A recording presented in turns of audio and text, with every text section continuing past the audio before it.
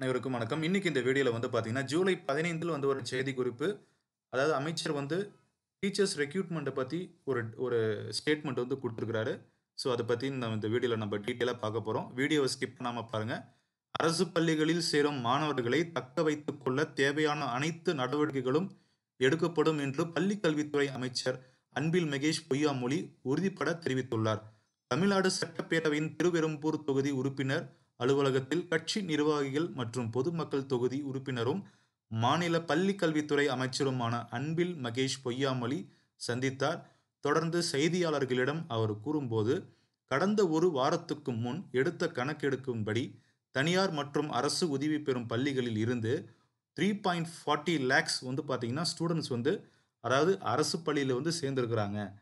நிகழாண்டு அரசு பள்ளியில் மாணவர் சேர்க்கை அதிகமாக இருக்கும் என்பது, அவர்களை அப்படியே தக்க வைத்துக் கொள்ளும் வகையில் அரசு பள்ளிகளில் உட்கட்டமைப்புகள் வசதி மட்டுமின்றி, ஆசிரியர்களை போதிய எண்ணிக்கையில் நியமிப்பது தொடர்பாகவும் இதில் ஒரு ஸ்டேட்மெண்ட் இதுலேயும் சொல்லியிருக்காரு. தற்போது பணியில் உள்ள ஆசிரியர்களுக்கு பயிற்சி வழங்குவது குறித்தும் ஆலோசனை நடத்தப்பட்டுள்ளது. இப்ப அட் ப்ரெசண்டாக இருக்கக்கூடிய டீச்சர்ஸ்க்கும் ஒரு ட்ரைனிங் வந்து கொடுக்கணும் அப்படின்ற ஒரு ஆலோசனையும் இருக்குது அரசு பள்ளிகளில் சேரும் மாணவர்களை தக்க வைத்து கொள்ள தேவையான அனைத்து நடவடிக்கைகளும் எடுக்கப்படும்.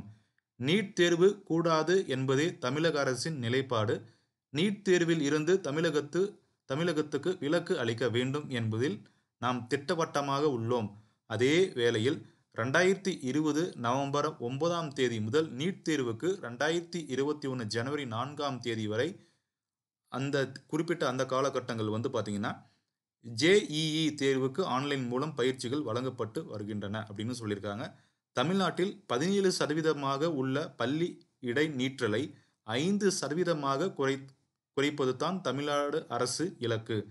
பள்ளி இடை நின்ற மாணவர்களின் எண்ணிக்கை குறித்து கணக்கெடுப்பு நடத்த துறை அலுவலர்களுக்கு உத்தரவிடப்பட்டுள்ளது.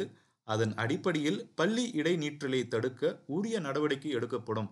யாரெல்லாம் எந்தெந்த ஸ்டூடெண்ட்ஸ்லாம் டிஸ்கண்டினியூ ஆயிருக்காங்களோ, அதனோட லிஸ்ட்டு வந்து பார்த்தீங்கன்னா, ஃபாலோ பண்ண சொல்லியிருக்காங்க. அது மட்டும் இல்லாமல் மெயினாக ரெண்டாயிரத்தி பதிமூணு ரெண்டாயிரத்தி பதினேழாம் ஆண்டுகளில் ஆசிரியர் தகுதி தேர்வு எழுதிய பலர் வேலைக்கு காத்துக் கொண்டிருக்கிறார் அப்படின்னு அவரே ஒரு ஸ்டேட்மெண்ட் கொடுத்துருக்காரு இது தொடர்பாக துறை உயர் அலுவலர்களுடன் ஏற்கனவே கலந்து ஆலோசனை நடத்தப்பட்டுள்ளது அப்படின்னு சொல்லியிருக்கிறாரு.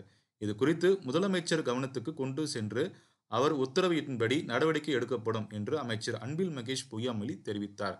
தேங்க் யூ தேங்க்ஸ் ஃபார் வாட்சிங்.